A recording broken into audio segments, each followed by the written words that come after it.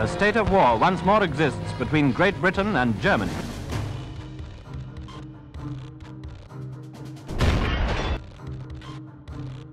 Today is Victory in Europe Day. While the German war machine seemed unstoppable for most of the Second World War, its unflinching advance met setbacks in Russia and North Africa, followed by defeats in their territory in Europe, leading to their ultimate defeat in May of 1945. However, when Nazi Germany fell, the tons of weaponry seized by the victorious Western Allies and the Soviets had to be dealt with. Today, there's a whole market for Nazi memorabilia, and then there are museum collections. But back in the day, the Nazi war machine was capable of leveling cities. So, what really happened to all those captured German weapons after the war? Let's find out. The war that changed the world forever. After the Second World War ended, German weapons weren't just left behind, they were dealt with in different ways. However, before we dive deeper into how countries dealt with the aftermath of such a massive conflict, Let's take a look at the war at the heart of it. Germany's involvement in the Second World War started with its invasion of Poland in September 1939. This triggered a cascade of events that plunged the world into conflict. Employing blitzkrieg tactics, German forces swiftly overran Poland. In response, Britain and France, two rival continental powers, declared war on the Nazi war machine. The next year, German territory expanded significantly in Western Europe, from Denmark and Norway in April to the conquest of the Low Countries and France by mid-year, Germany's military machine seemed unstoppable. They even established the Vichy government in the region to solidify their control. The 1940 to 1941 period of the war saw Germany embroiled in the Battle of Britain and the Balkans campaign. The aerial onslaught against Britain, known as the Battle of Britain, however, failed miserably when the Royal Air Force outperformed the feared German Luftwaffe. However, Germany was able to expand its influence in southeastern Europe with the occupation of Yugoslavia and Greece. But the most pivotal moment in the war came with Operation Barbarossa, which launched in June 1941 to conquer the Soviet Union their then ally. Despite initial successes, the campaign proved to be a costly endeavor, both in terms of resources and manpower. The harsh Soviet winter and staunch resistance began to take its toll on the German war machine. The tide of war shifted dramatically from 1942 to 1943 with significant setbacks for Germany. The Battle of Stalingrad resulted in a decisive Soviet victory, this was a turning point in the war. Meanwhile, Western Allied forces made gains in North Africa, culminating in the surrender of Axis forces in Tunisia. As the war progressed to 1944, Germany found itself fighting on two fronts. In the east, Soviet forces pushed steadily westward, reclaiming territory lost earlier in the conflict. In the west, Allied forces landed in Italy and began their advance towards Germany. The Allied invasion of Normandy on D-Day established a crucial beachhead in France, while Germany's last major offensive in the Ardennes, known as the Battle of the Bulge, ultimately failed to halt the Allied advance.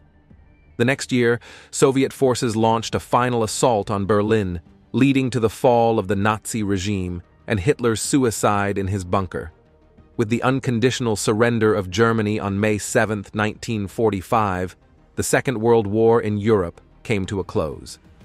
But of course, the question of the Nazi war machine, or more specifically, its hardware, lingered. Even during the war, the Western Allies and Soviets did use captured German weapons against the Nazi forces. But now that the war was over, dealing with the catches of munitions, guns, planes, tanks, and other military assets became a major concern, using captured German weapons against the Nazi war machine. During the war, frontline soldiers, facing shortages in their supplies, often used captured weapons and equipment against the Nazi war machine. This was especially true for tanks and armored fighting vehicles, or AFVs. This went both ways, of course. Both the Allied and Axis powers resorted to using enemy armor to bolster their forces. For the German Wehrmacht, incorporating captured vehicles into their ranks was a systematic and deliberate strategy. They even seized vehicles from occupied territories like Austria and Czechoslovakia before the war began. As they conquered France, the Low Countries, and large parts of the Soviet Union, they integrated the captured tanks and AFVs into their units. This helped fill significant gaps in their order of battle, particularly during the early stages of the war. In contrast, the Western Allies had less need for captured German tanks and Axis vehicles. Allied production capacity was much higher, allowing them to replace losses and equip new units without relying on captured enemy equipment. Plus, incorporating foreign spare parts and ammunition types into their supply pipelines would have complicated logistical matters. Since German factories remained out of Allied hands until the war's end, adopting captured German vehicles was not practical. That is not to say that there were no exceptions to this trend. However, after the war, the Allied forces embarked on a significant operation to seize and control the extensive German military arsenal. This was necessary for preventing the proliferation of the said weapons and to ensure stability in post war Europe, especially Germany, where the Nazi sentiment had not completely died out even after the defeat. The Western Allies implemented a meticulous cataloging process to inventory and document the vast array of captured German weapons. The Allies thus tracked weapon types and quantities, facilitated distribution where necessary, and prevented illicit arms trafficking. Of course, the victorious Allied authorities also had to navigate complex agreements regarding the handling and disposition of wartime assets. Additionally, administrative challenges arose in managing the logistical aspects of storing, transporting, and securing the captured weapons. They also had to account for factors such as military capability, strategic priorities, and diplomatic agreements. But generally, the idea was to allocate weapons based on each nation's needs and contributions to the war effort. However, even this was not without its challenges.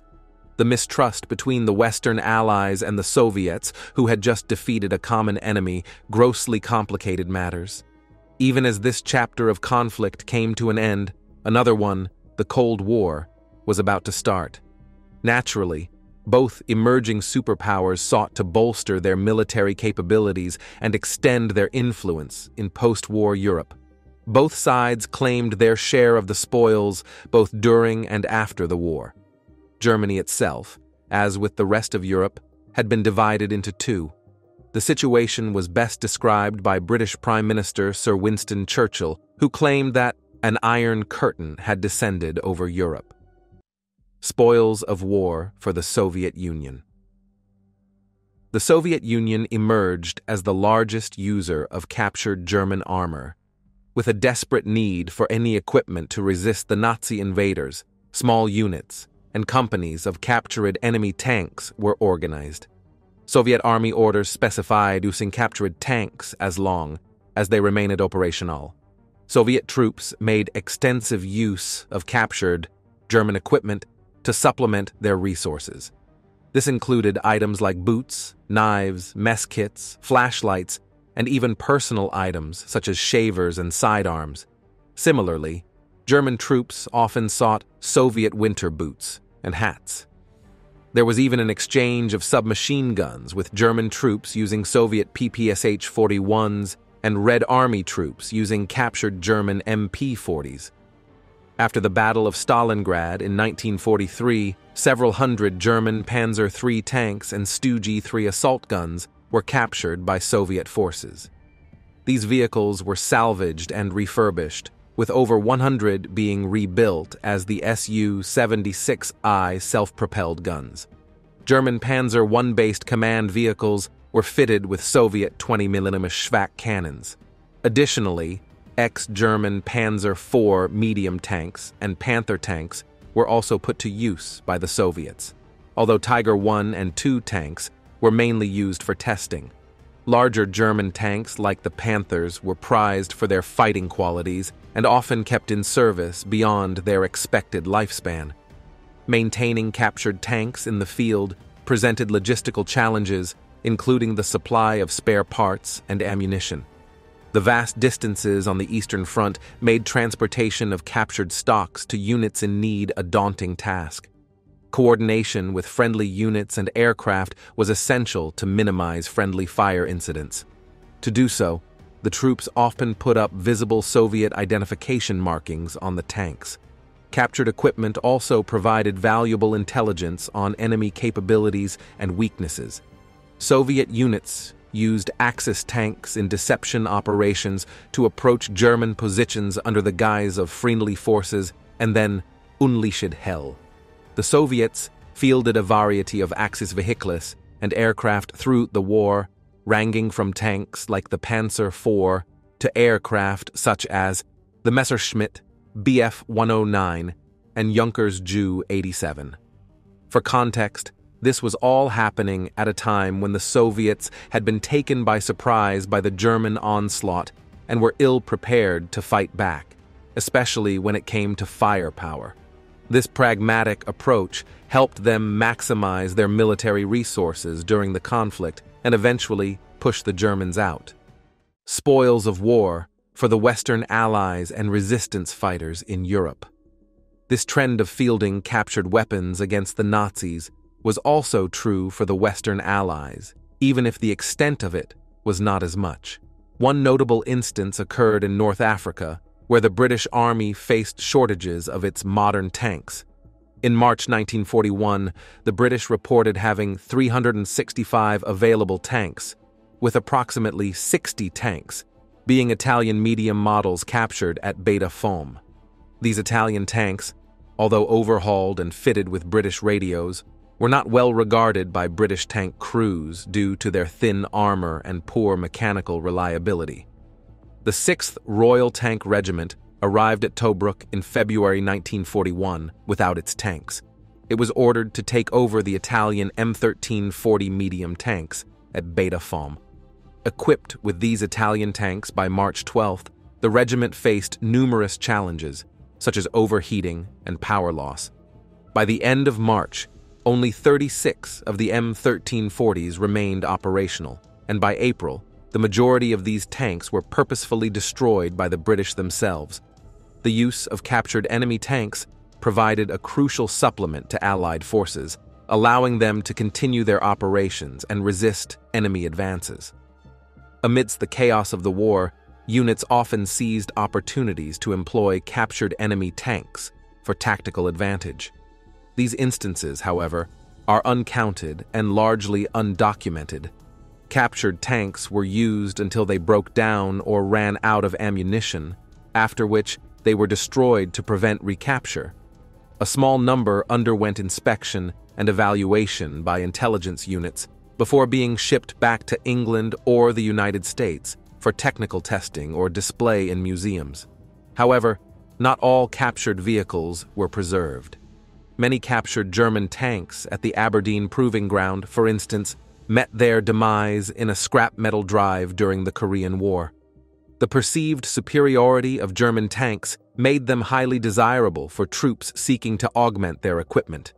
German half-tracks were also repurposed by all Allied armies, often retrofitted with machine guns for easier ammunition resupply. One well-documented case involved the Canadian Seaforth Highlanders, capturing an intact Panther on the Italian front in October 1944.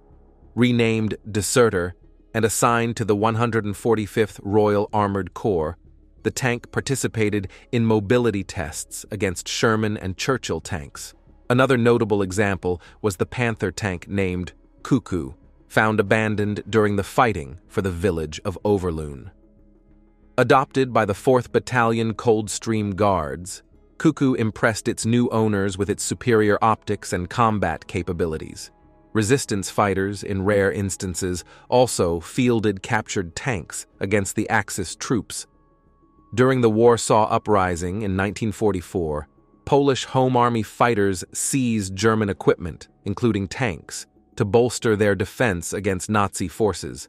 This exemplifies the adaptability and determination of soldiers and resistance fighters to accomplish their missions under challenging circumstances. The wonder weapons. The so-called German wonder weapons during the Second World War have often been steeped in myth and speculation. Many attribute the delayed deployment of these advanced German technologies to a potential turning point in the outcome of the war. However, the impact and effectiveness of these weapons could have done little to save a surrounded Nazi territory. In any case, the research value of these weapons interested the victors who seized them before they could be fielded against their troops. These innovative weapons included rocket fighters, jet fighters, cruise missiles, and ballistic missiles. Back in the day, these advancements sparked concern among the Allies, who recognized the potential strategic implications of these new technologies.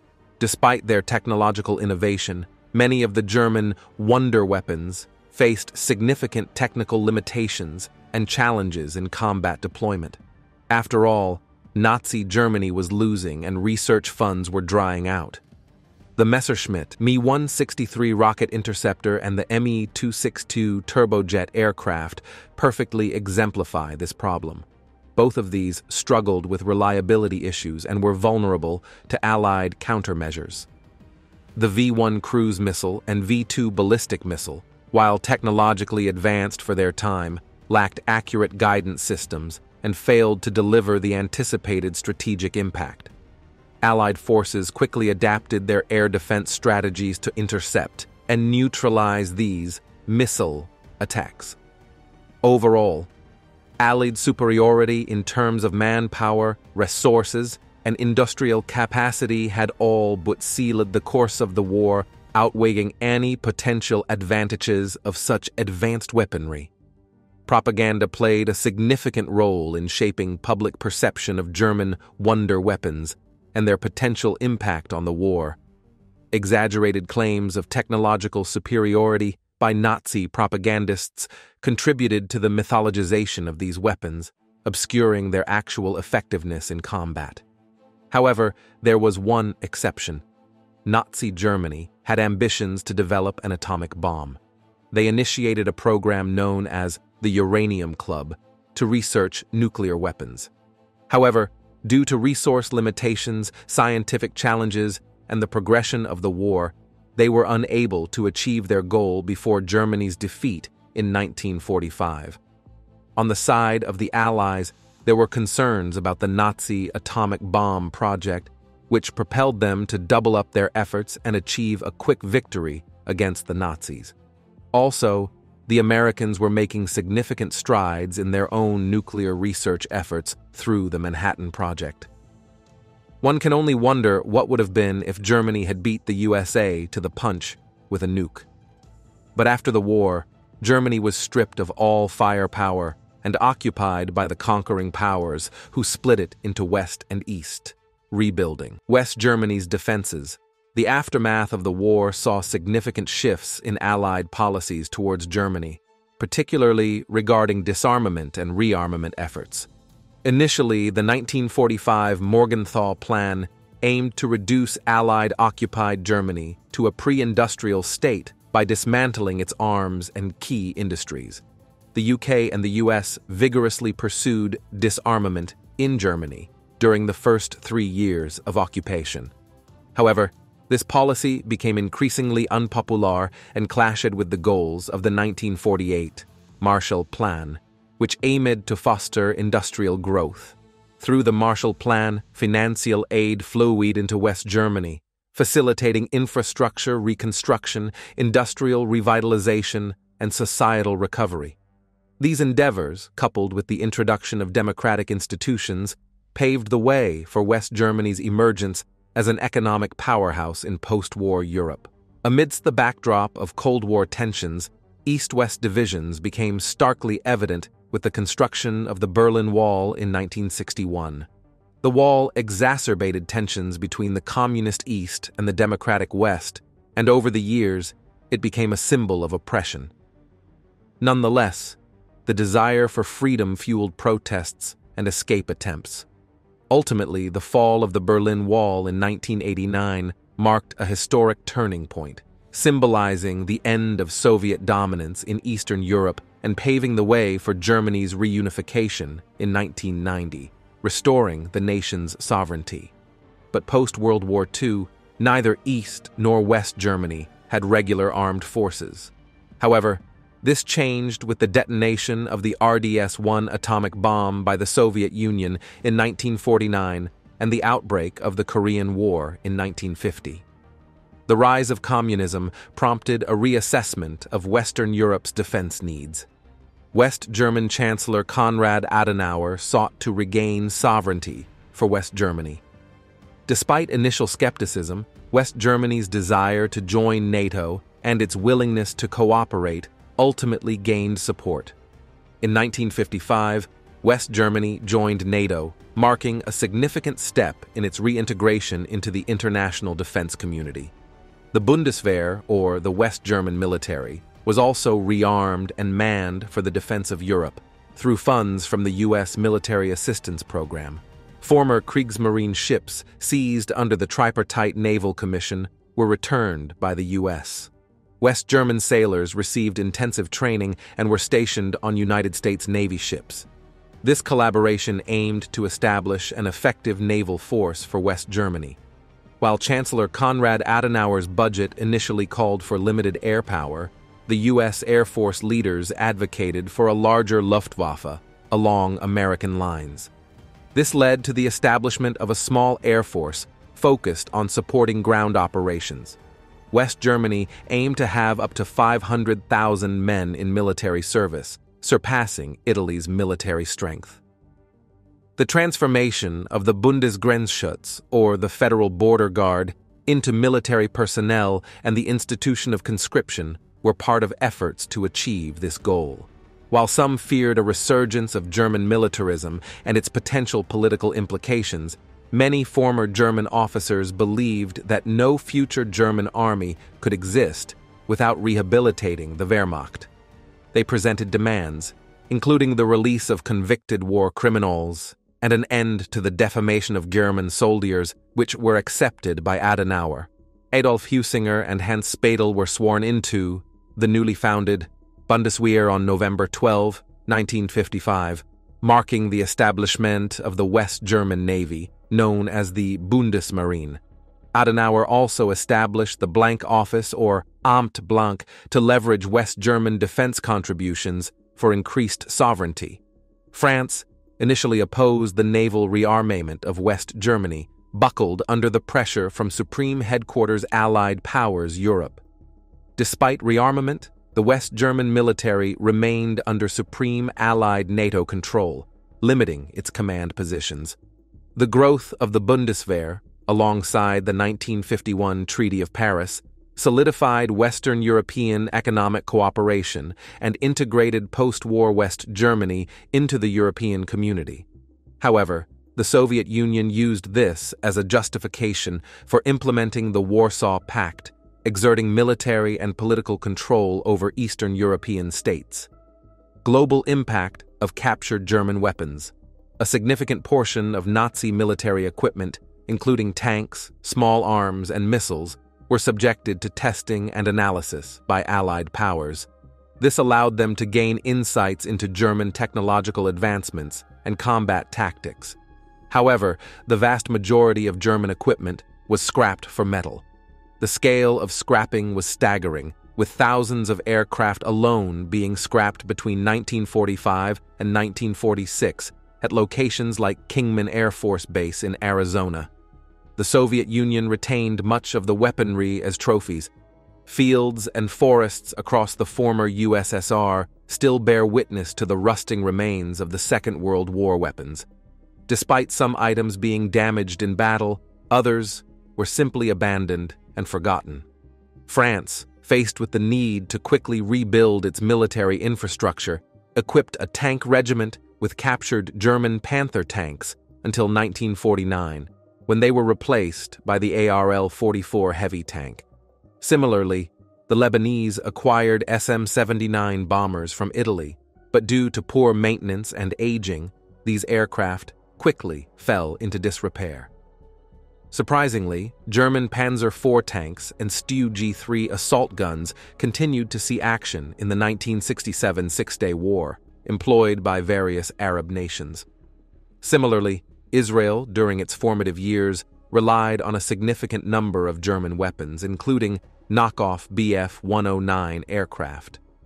A thriving black market trade also emerged after the war, with surplus weaponry finding its way to minor nations eager to bolster their military capabilities. German small arms, renowned for their precision engineering, initially proliferated across the globe due to post war availability.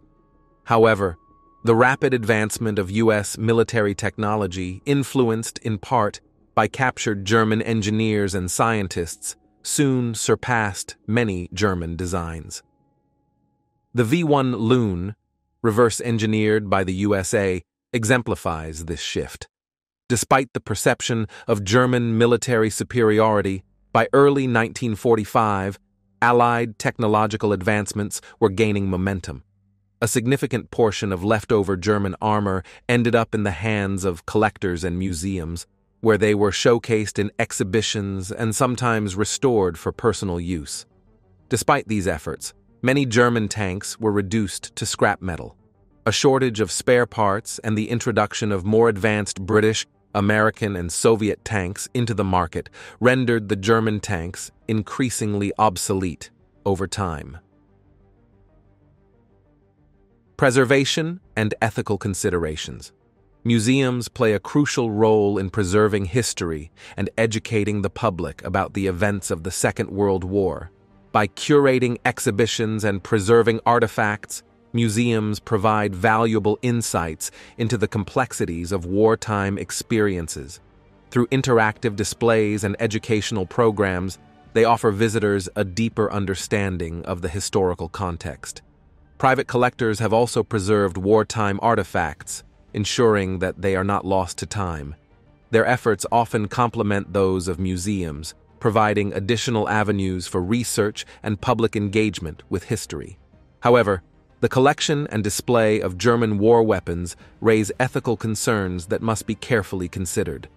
These artifacts are not merely historical objects, but symbols of a dark chapter in human history. Displaying them without proper context or sensitivity can glorify violence and perpetuate harmful ideologies. In recent years, there has been a notable increase in the market for buying and selling Nazi memorabilia, driven in part by the passing of veterans and subsequent attempts by families to divest themselves of such possessions. However, this trend has sparked controversy and condemnation among many in the general public, who find the commercial trading of Nazi antiques tasteless and hateful. Individuals and businesses selling such items have faced criticism for profiting from symbols associated with one of history's darkest periods. While some collectors are solely interested in the historical background and design of Nazi artifacts, others are known supporters of neo Nazism and hate groups. This has led to debates about the ethical implications of trading in Nazi memorabilia. Jewish groups, in particular, have expressed disapproval of the sale and purchase of such items for leisure purposes, citing concerns about glorifying or trivializing the atrocities committed during the Holocaust, which was a systematic persecution and genocide of six million Jews by the Nazi regime during World War II, along with the Romani people, Poles, disabled individuals, and others deemed undesirable by the Nazis. Some Jewish figures believe that certain Nazi memorabilia hold historical significance and should be preserved to ensure that the lessons of the Holocaust are not forgotten. Legal restrictions on the sale of Nazi memorabilia vary by country. In some parts of Europe, such as France, the sale of such items is strictly prohibited. Auction websites like eBay have implemented guidelines to prohibit the sale of certain items associated with Nazi propaganda or symbols, aiming to prevent the glorification of war crimes and crimes against humanity. Despite these efforts, the market for Nazi memorabilia continues to raise ethical and legal challenges. Moreover, there are ethical considerations regarding the provenance of these artifacts. It is essential to ensure that items in museum collections or private collections were obtained ethically and legally, without contributing to the glorification of war or the exploitation of human suffering. Transparent documentation of the origins and histories of these artifacts is crucial to maintaining ethical standards in the preservation and display of German war weapons. In any case, the capture of German weapons, alongside the devastation wrought by the Second World War, profoundly influenced post-war geopolitics and military technology.